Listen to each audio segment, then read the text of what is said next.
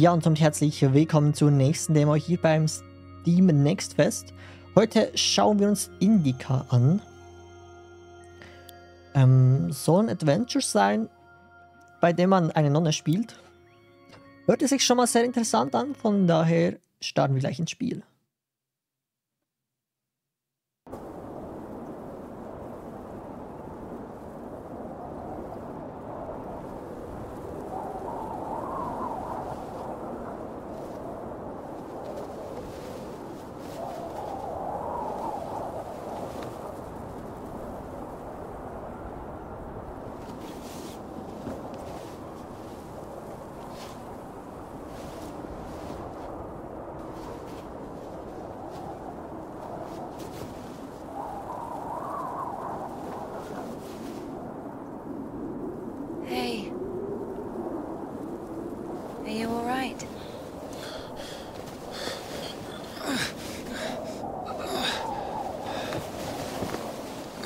Sorry, can I take a look, please? Oh, there's nothing to look at.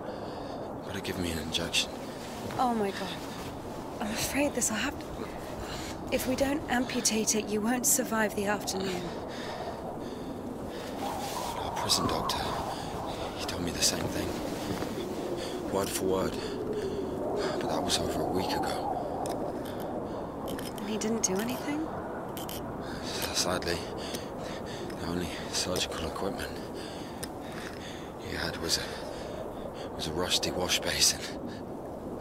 Very funny. All right, all right. Don't don't worry. It should be like that. Only like that. I'm, I'm also talking to God. To God. Great.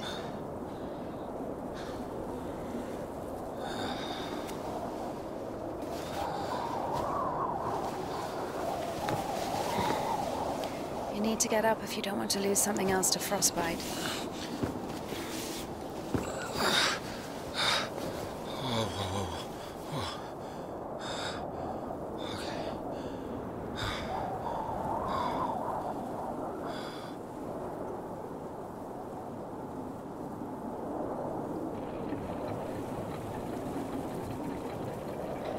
So, da sind wir nun also. Ähm, sieht interessant aus. What do you mean you talk to God? What? Oh, my arm. You've seen my arm, yes? It's been a week or more. I doubt it. And what does God have to do with this? Well, let, let me explain. Ever since that night, everything, every event, it all happened as I was told it would. I- I'm certain I was the only one who left that train alive. It's all going according to plan. Every fucking step is God's plan. Do you understand? So taking me hostage was God's plan. I know what you're thinking. But remember the gospel. The father who gave his money to the prodigal son, not to the beloved one, the good one, to the bandit. He who had been murdering and stealing but came back. He came back. Do you understand? I think the Lord is happier to see to see one repentant sinner than well, a hundred thousand righteous people. I don't know. I, they don't even need repentance. Do, you- do you hear me? You know, he, he laid everything out before me. Spread out like a deck of cards, the past, the present, the future. Who? God, who else? I was lying there, about to die. His sister, just like you, some water in his mug. I was drinking and I saw, I saw ripples in the water.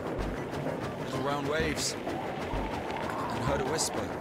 So I drank. And You heard God in a cup? In a cup, yes. But that's that's not the point. I'll show you when we get there. Look, a water tower. That means the station is behind the windmill. Station. Why? We're doing fine. We've only got fuel for a couple of bursts. I won't be able to drag you around with no steam. Ganz kurz, ein paar Fragen. Gab es so ein Fahrrad, Fahrzeug, was auch immer wirklich? Und die Schriftart, die im Menü und auch oben links gewählt ist, finde ich jetzt irgendwie äh, sehr unpassend. Weil das Spiel, also ich habe jetzt was anderes erwartet als das hier. Und was mir schon positiv aufgefallen ist, Ist der Schnee. Man hinterlässt eine Spur.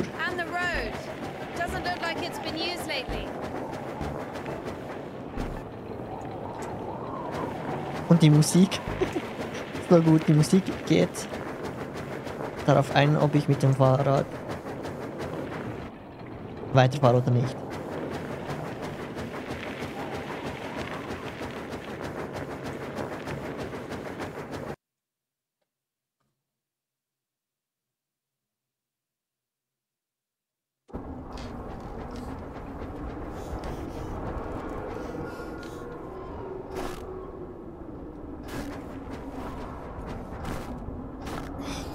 Who do this?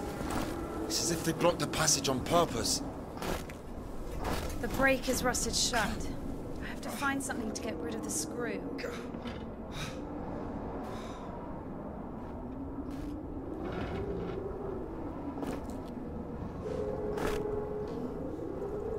It won't fucking budge. Aber ansonsten finde ich, sieht das Spiel ziemlich schön aus. Für so ein Indie-Game vor allem. Eben diese ganzen Schneetexturen haben was, also, dass man wirklich Maybe there's something in that shed. Spuren hinterlässt. Die Axt kann man nicht nehmen. Und auch das Hut ist äh, ziemlich schön minimal. Gefällt mir schon mal.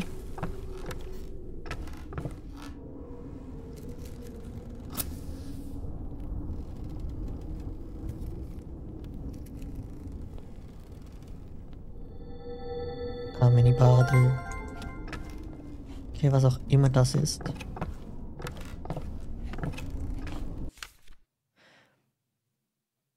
Eben wie gesagt, diese Schriftart finde ich gar nicht passend. Ich weiß nicht, warum das gewählt wurde. Aber okay. Das Leben des Gottes Lieblings Bartholomäus. Der heilige Bartholomäus war ein Einsiedler von solcher Milde und Förmigkeit, dass selbst wilde Tiere ihn nicht scheuten.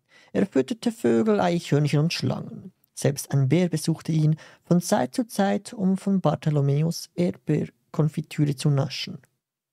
Einmal kam es zwischen ihm und dem Bären zum Streit, den sie nicht mit Worten lösen konnten. Wütend schlug Bartholomäus mit der Axt nach dem Bären. Als er sah, was er getan hatte, fiel Bartholomäus zu Boden, wälzte sich in seinen Tränen und bat Gott und den Bären um Vergebung.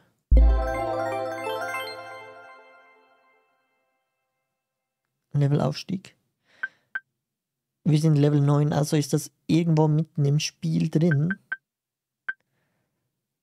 Schuld 5, Buße 7. Immer wenn du Punkte erhältst, hast du die Chance auf 335 zu 7 Punkte. Was?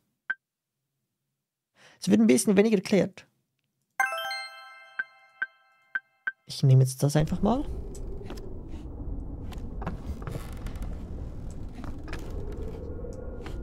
Wahrscheinlich wird es nicht erklärt, weil das eben mittendrin ist. Und man es wahrscheinlich schon weiß, um was, was diese Punkte sind. Aber sonst gibt es hier nichts. Ich bin mal so nett und schließe die Tür wieder. Die Axt kann man eben nicht nehmen.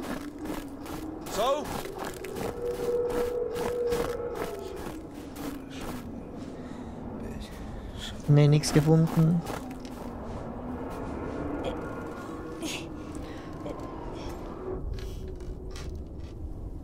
Das ist doch keine Leiche, oder?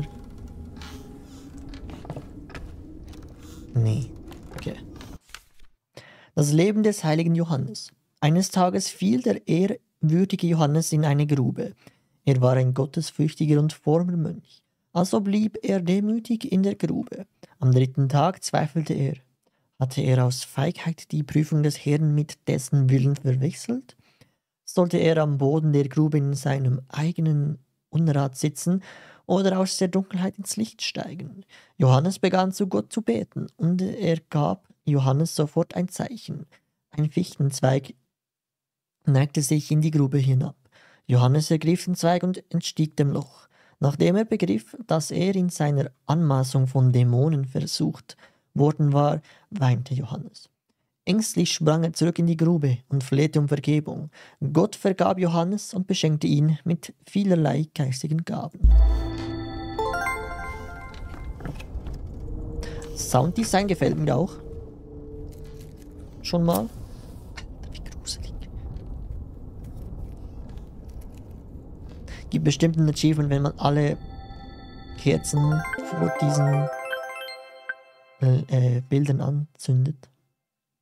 Trauer 4, immer wenn du Punkte erhältst, bekommst du die Chance auf einen Multiplikator.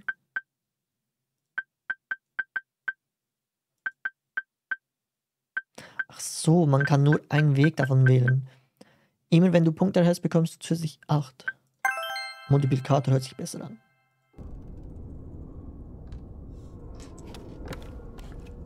Das ist echt gruselig.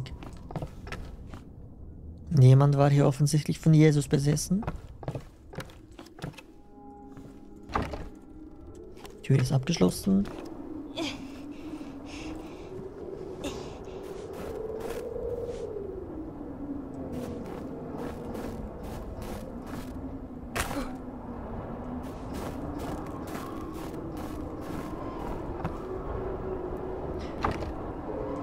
Auch abgeschlossen. Kein Fenster. Nee, kein Fenster.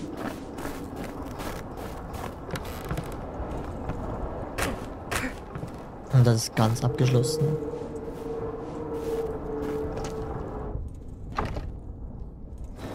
Dann gibt es hier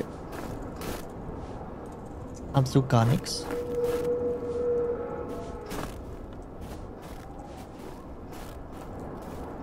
Ähm, was will ich jetzt damit?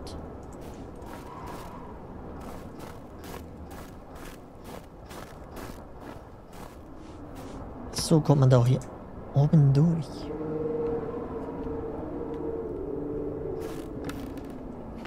Okay. Schraubenschlüssel. Indica konnte einen, einen Fünfer- und einen Vierer-Schraubenschlüssel mühelos unterscheiden. Dieser hier war irgendwas dazwischen.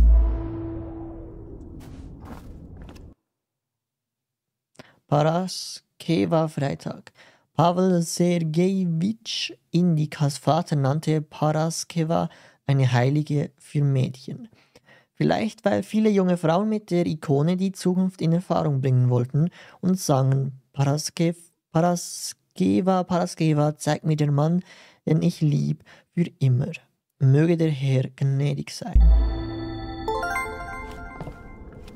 Okay. Den Schraubenschlüssel haben wir jetzt.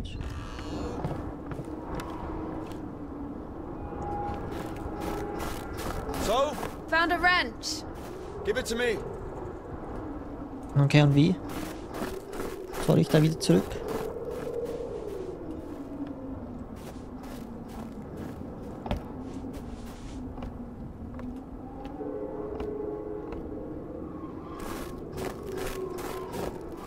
Das ist echt, echt schön gemacht. Muss ich sagen.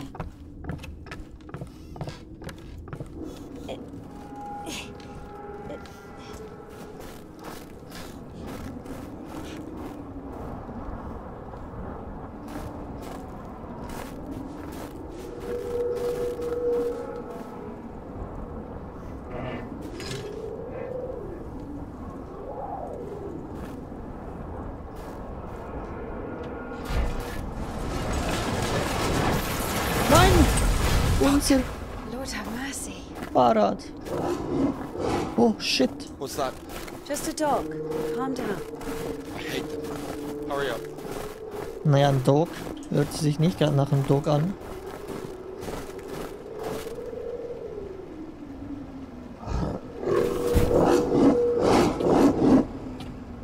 Das ist kein Hund. Quiet, quiet, little doggy. We won't hurt you. Are you crazy? Run! Hell? Das ist doch kein Hund! Das ist ein Monster! Kudes. Das war auf keinen Fall ein Hund.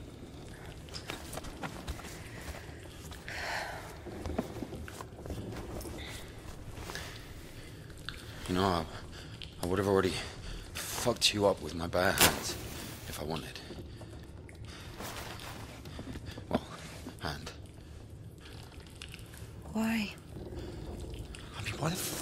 Throw away the revolver? Oh, would have been useful. I mean, a girl. Oh, I would, I would never. Oh, shit. Tell me something. If you're God's chosen one, why didn't God heal you completely right away? That's a good question. Here's your answer. Here. Here.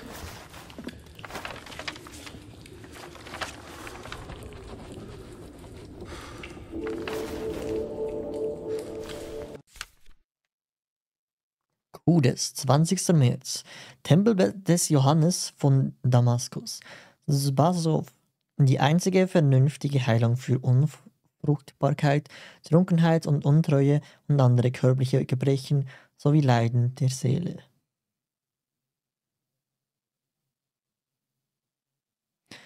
Wahrscheinlich sind die Entwickler aus dem osteuropäischen Bereich, wie es aussieht. Ähm, die einzige Sprache, die man ändern konnte, war auch noch Englisch oder Russisch, von daher wahrscheinlich aus dem russischen Bereich. Spannend. The Kudets. Yeah, exactly. Come on. I don't understand. So God had enough power only to stop the rotting, but to heal you completely, he needed some kind of tool. Look, it's not it's, it's not about the tool. A man can't be saved against his will. You see, basically, look, yeah, it has nothing to do with my arm. It's about the path, the path we've been given, and whether to follow it or not. It's up to us.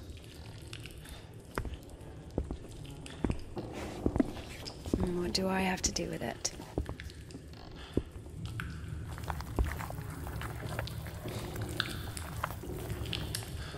So, possessed people are taken to the Kudets. Everybody is. Do I look possessed to you? No, not you. All right, let's get out of here.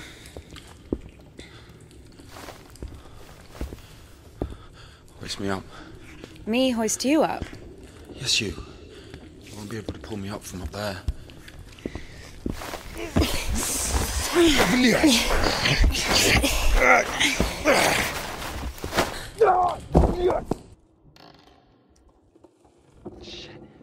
Ilya?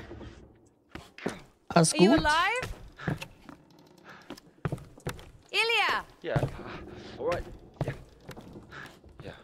What's going on?